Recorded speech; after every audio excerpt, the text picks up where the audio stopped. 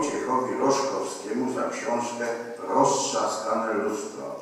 Kapituła wyróżniła książki Justyny Błażejowskiej Ta historia wciąż trwa, Pawła Chojnackiego Reemigraten, kiedy Zygmunt Nowakowski wróci wreszcie do Krakowa i Janusza Węgiełka Krukowate.